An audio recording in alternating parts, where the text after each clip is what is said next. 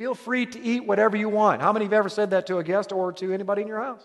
Feel free to eat whatever you want. Does that mean that you can eat the, the cat food? Or the antibiotics that are in the refrigerator? Or the shelves of the refrigerator?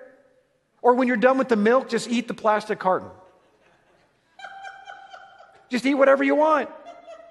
Or was there an understanding there of what food is?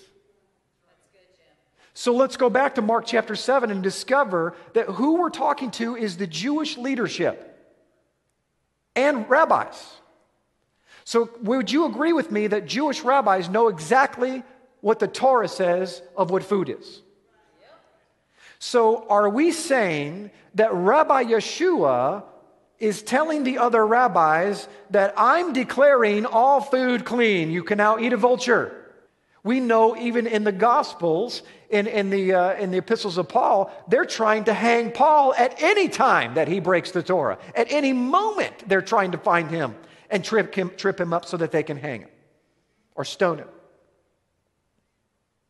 And they accused him many times. If Jesus Yeshua is saying that you can eat whatever you want, and he's going against the Torah, why is it that the very next statement isn't that the Pharisees tore their clothes, they couldn't believe it, and they went to grab the high priest and pull him into the Sanhedrin for a court martial?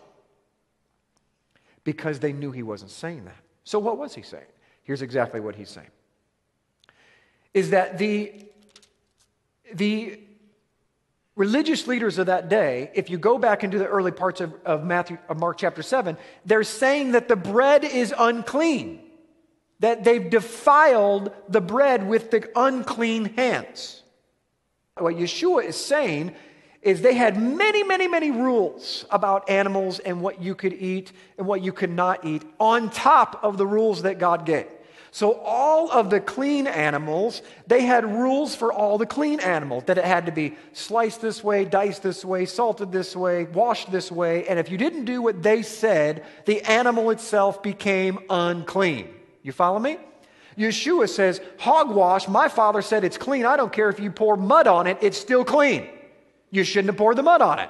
But it doesn't make it unfit to eat, it's still clean. So Yeshua stands up as rabbi and of the, of the creator of the universe as the word made flesh, and he says this I'm declaring that all food that my father said that you can eat, which is the definition of food, is clean. Does this make sense? The definition of food is the key part to Mark chapter 7. If we don't understand the definition of food, when these Jewish rabbis are talking to another Jewish rabbi, and a Jewish rabbi named Yeshua says that all food is clean, we're going to read right into that scripture what we already believe, which is we're going to impute our definition of food.